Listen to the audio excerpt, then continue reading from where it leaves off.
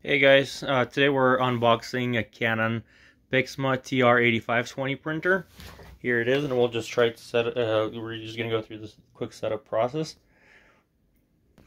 Just wanted to show you what's inside the box and what you are getting if you're ordering it online.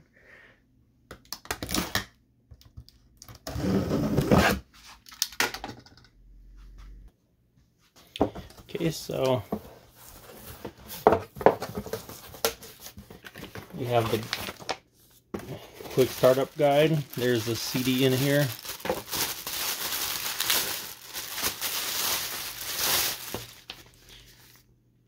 Setup software, some photo paper.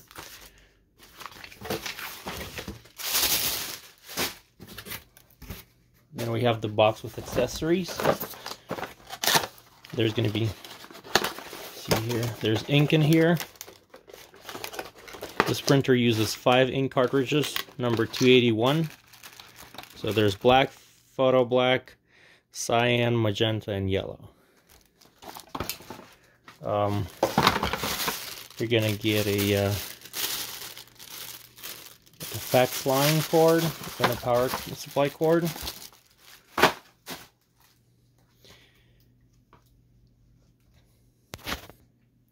So now I'm going to pull the printer out of the box that I have the right side up.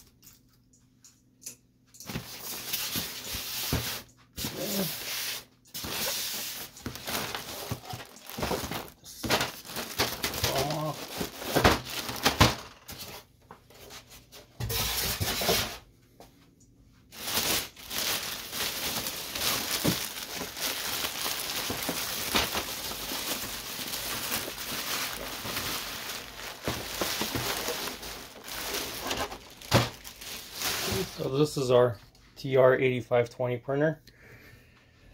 Um, I'm just gonna remove these here, all the protective coverings. And before we plug it in, we have to remove this according to the instruction.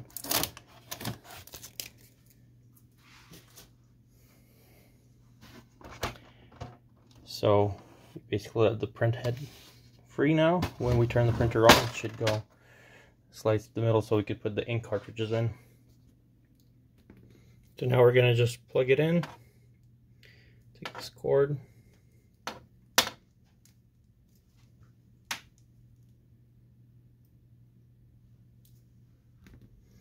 We're gonna connect the cord right here. it Goes right there.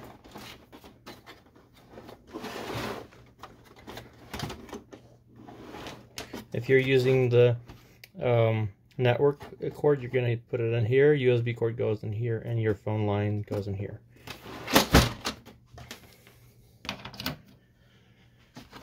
So we have the printer plugged in. printer has two trays. There's one in the back over here that you can feed. Usually people use it for photos because it's easy to just put one sheet in there and um, go from there. And there's also this front tray that you can use for paper just being there um, for whenever you need it. So this control panel goes up and down like this here. Let's turn it on. We have the cord plugged in already. And another thing is going to pull the paper output tray right here so our paper doesn't just go anywhere. It lands on this tray here. This is the document feeder unit on this printer where you can make a few uh, pages copies at the same time or scans or fax Um, very convenient if you want to do a few copies. You can also use this here for your copies. And when the printer is ready, it's going to ask us for some ink. The printer just asked for the language and I selected English. Uh, select next, then agree.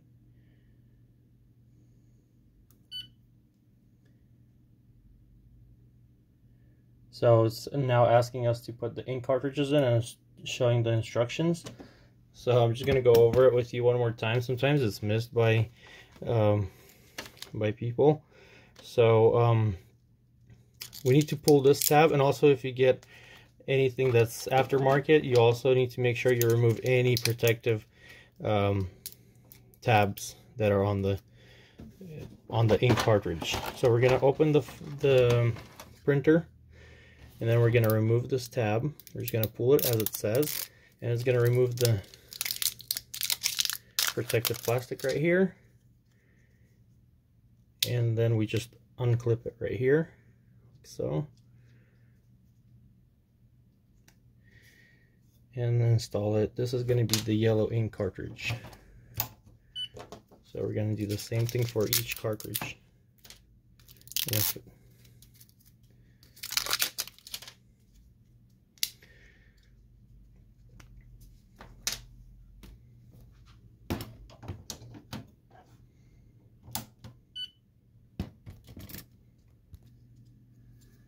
So I have my last cartridge in here. Sure you press it down and you hear the beep. I'm to close this and let the printer do its startup.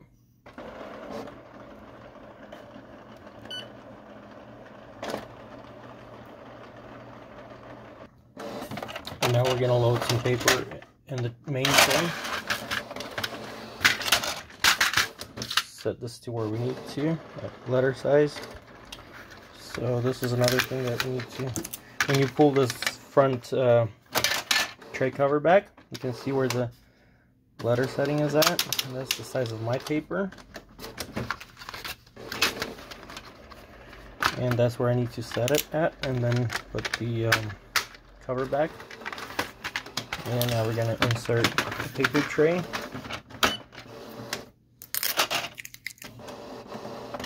While the printer is getting started for the alignment, um, just wanted to go over this printer. It is a very good printer. It does all the things that you need the printer to do. Very good size, not too big.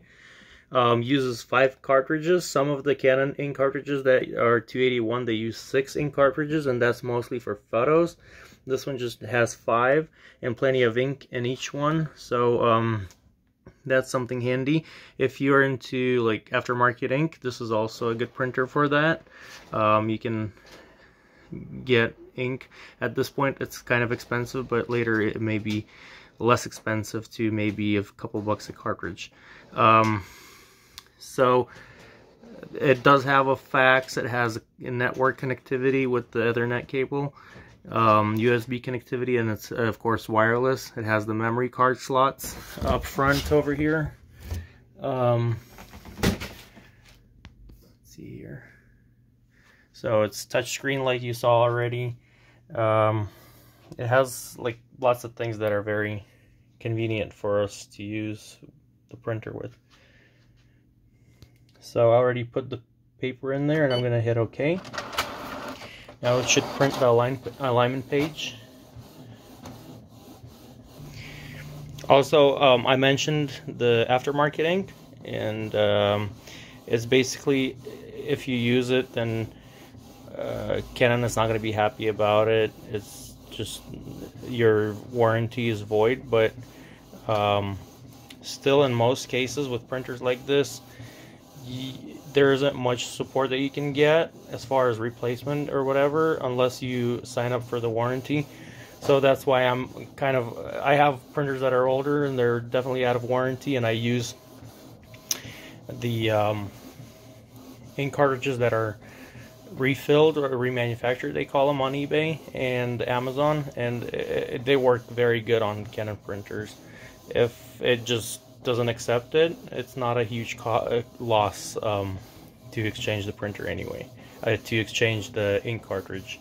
And uh, we're going to have some more videos on this particular model, how to um, maintain it, a little like here and there things, paper jams, and uh, things like that. So check out our channel and subscribe.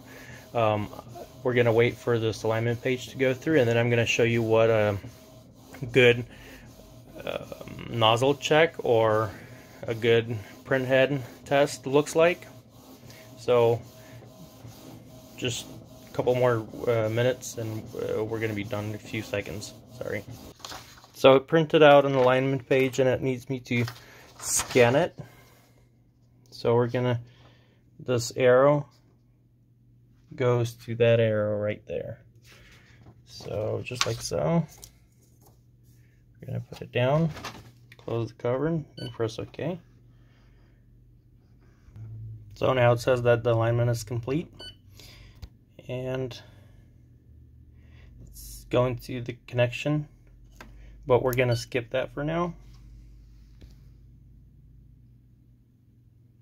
Actually, I'll just show you basics of the connectivity and then you should be able to